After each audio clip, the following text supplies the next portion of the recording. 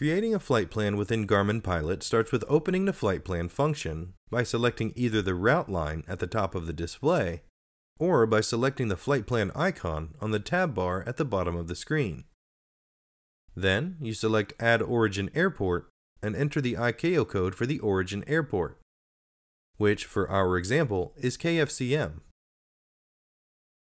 Then you select Add Destination Airport and enter the code for the destination airport in this case, KDEN.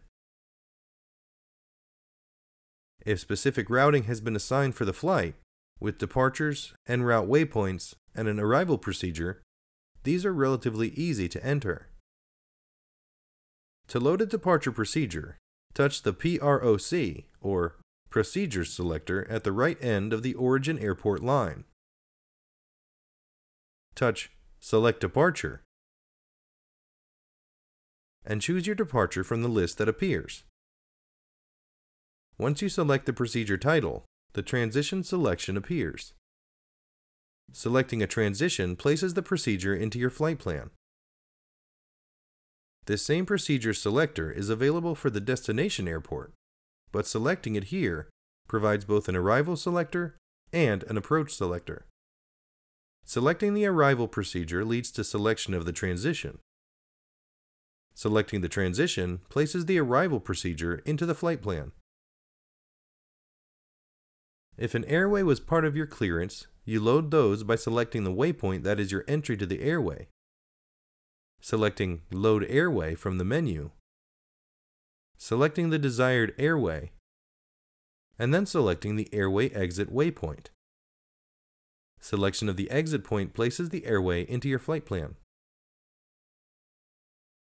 Now that you've seen how you can create your route manually, it's time to take a look at a method that greatly simplifies routing decisions. With the origin and destination waypoints entered, touch the word Routing that appears on the top right of the page. This opens the planned ATC routing selector, where you can have routes sorted by altitude, aircraft, date, and popular. Selecting Popular here, we can see the most popularly filed route at the top of the list, and it seems appropriate for the flight we are about to take. So we select that. Now we can see all of the waypoints entered into the flight plan.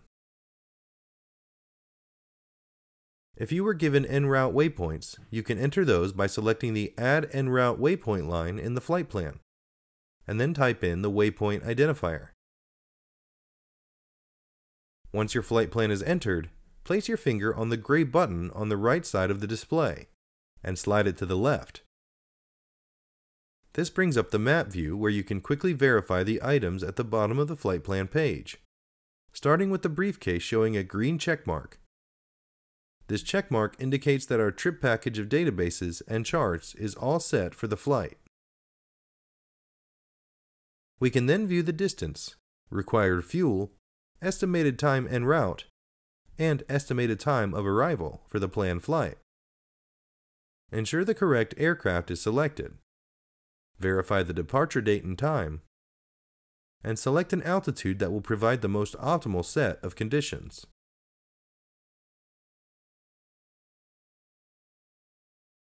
With all of this done, we can then select the Create Trip button to have our plan transfer into the trip planning function where we will obtain a briefing and make any changes to the filing information before filing the plan. Now that you've seen how the flight plan function works, it's time to move on to the next video in the series, where we review the trip planning function and then file the flight plan.